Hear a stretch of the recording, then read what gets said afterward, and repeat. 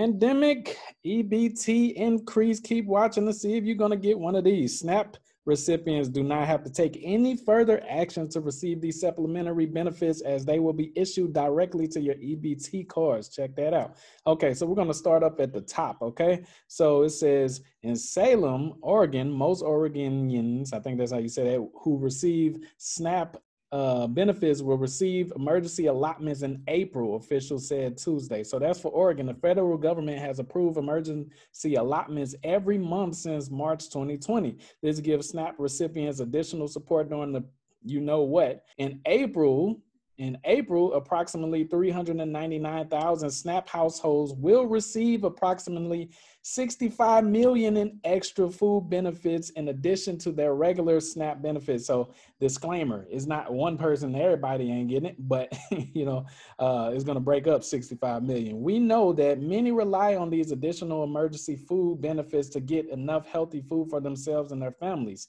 said Claire Seguin uh, Deputy Director, uh, Director of Oregon Department of Human Services Self-Sufficient Programs. We also know that many Oregon people are still struggling to meet their basic needs, and we encourage them to contact our partners at 211. So that's what they want you to do, just to make sure you're getting what you're supposed to be getting. Current SNAP households will receive emergency allotments of April 12th. So check out April 12th. We're going to have some more updates just in case they change their mind on this, but they've been doing it for a while, so they shouldn't. All right, so allotments April 12th through 29th or May 3rd for households who do not receive benefits in the first monthly insurance.